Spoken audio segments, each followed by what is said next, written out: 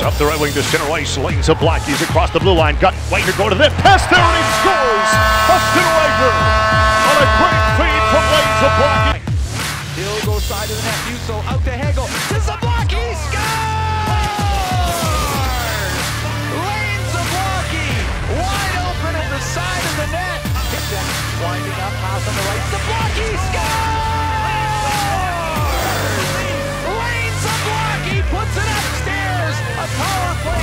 The left wing boards. He'll get to the middle. He'll shoot. Score!